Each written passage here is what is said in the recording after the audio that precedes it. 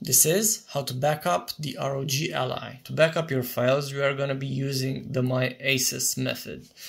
If you do not have the MyASUS application installed, I recommend you do that through the Microsoft Store. So let's start by hitting on the bottom left the Windows icon.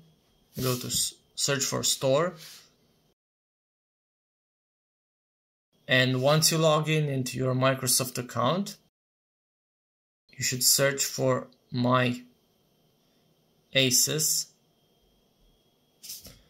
Make sure to press this button to get it and download it. Once the download has been finished click open. Go to the bottom to ASUS apps and deals.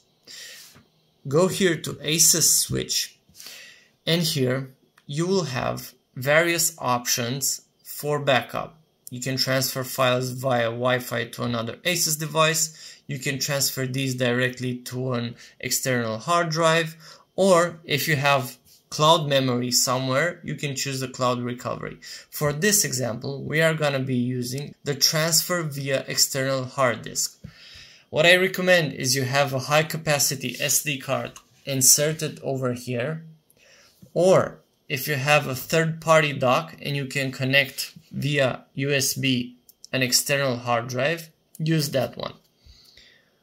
For example, we are going to be choosing this, backup or restore with external hard disk. Here are the two options for backup we are going to be choosing now. And for example, if you just have a new device or you have reformatted your ROG Ally, once reinstalling the MyASUS app, you should hit here restore in order to get your files back in place where they were initially before the format. Backup. And here you can see my external hard drive that is connected through the SD card. I will choose this one.